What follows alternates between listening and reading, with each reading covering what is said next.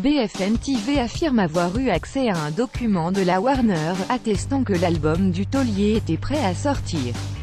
En ce sens, David et Laura n'auraient donc aucun droit de regard sur ce nouvel opus. Voilà une révélation qui ne va pas apaiser les tensions entre David, Laura et Laetitia Hallyday.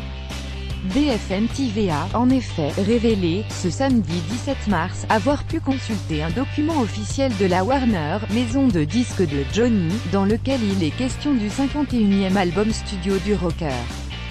Daté du 22 novembre 2017, soit deux semaines avant la mort de Johnny, ce dernier révèle que le nouvel opus du rocker était prêt à sortir et que 10 titres déjà enregistrés étaient validés.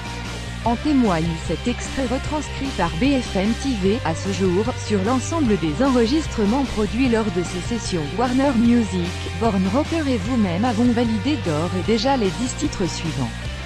Puisque Johnny aurait lui-même sélectionné ces nouveaux morceaux, le droit de regard que demandent David et Laura pour veiller au respect et à l'intégrité de leur père n'aurait donc pas lieu d'être.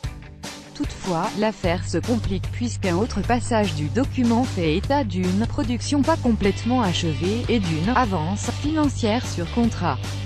Johnny, gravement malade, savait probablement qu'il ne pourrait venir à bout de son dernier album et aurait donc préféré toucher une partie de l'argent. Un point clé pour David et Laura qui pourrait dès lors faire valoir que Johnny n'a pas pu donner son avis sur les ultimes arrangements des titres. Candice Naou, chef du service culture showbiz de BFM TV, il faudra simplement que Laetitia Hallyday et ses avocats prouvent qu'ils sont restés en l'état et n'ont pas été réarrangés depuis.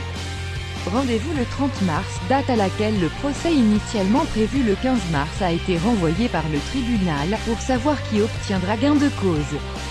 Crédit photo, Daniel Angeli, BESPIMAGE